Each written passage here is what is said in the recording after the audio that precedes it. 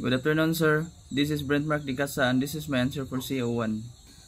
First is the present position bearing from Raffles Lighthouse 70 degree 0.6 nautical miles.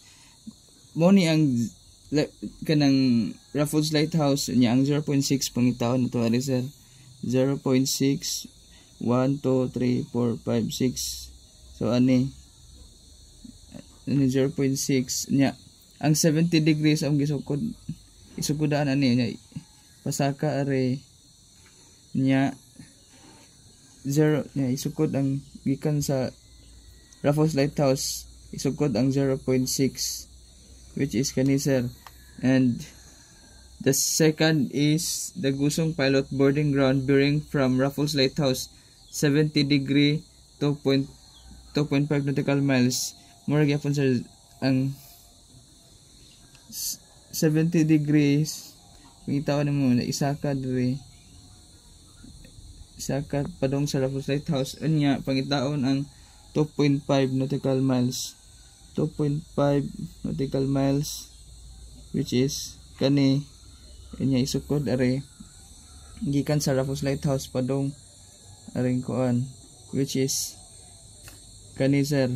Nya ang katulo is the waypoint number 1 bearing from Shell SBM 232 degree 0.5 nautical miles which is ang Shell SBM is kani bearing from Shell SBM 232 degree.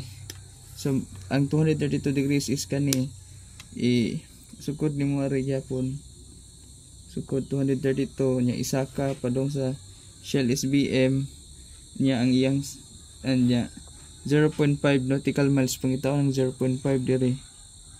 0.5 nautical miles which is kani niya isukod ari gikan sa Shell SBM padong kare which is kani sir. Nya pagkuha sa latitude o longitude sir yanari o pra- isukod ang gikan ari sa present position ang iyang latitude isukod ari. Nya human sukod na sa dari which is nasa 1 degree unya i- nasa 8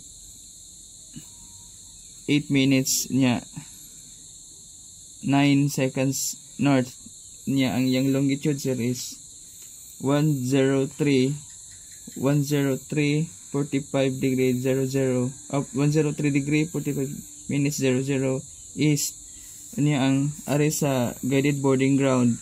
Yang latitude yang latitude is iya na siya sa 1 degree.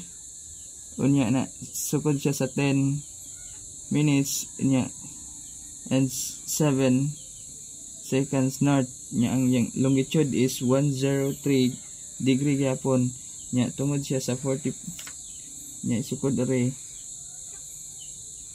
nya butang ari na siya belong sa 46 minutes nya 8 seconds.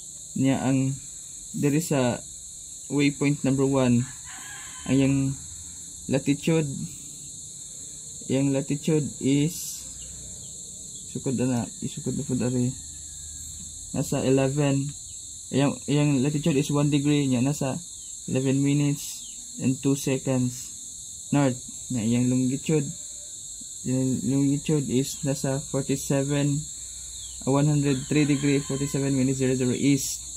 Pos niya to lang ang pagkuha sir. Niya sa tas 2 3 and 4 ang yang ang coordinates sa bearing from Raffles Lighthouse is ang latitude 1 degree 08 minutes 9 seconds north yeah, 10 ang longitude is 103 degree 45 minutes 00 east.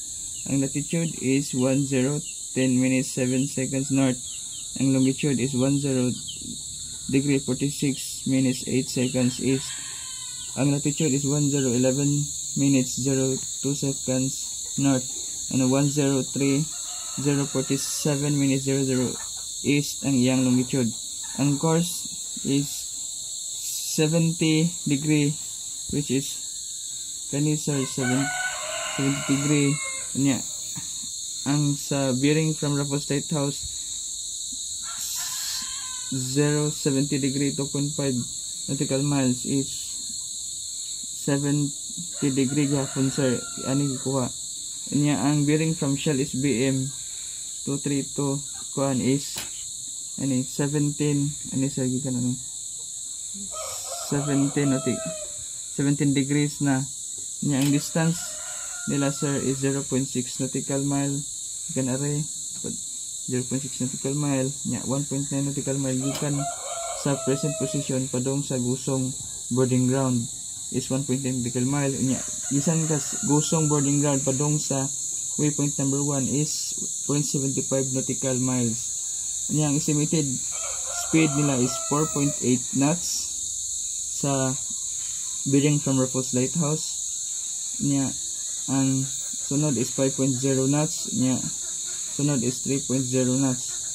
Ang estimated time of arrival is start shifting from present position 3.25 0800 hours.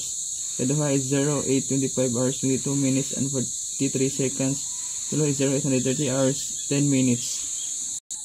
That is all sir. Thank you.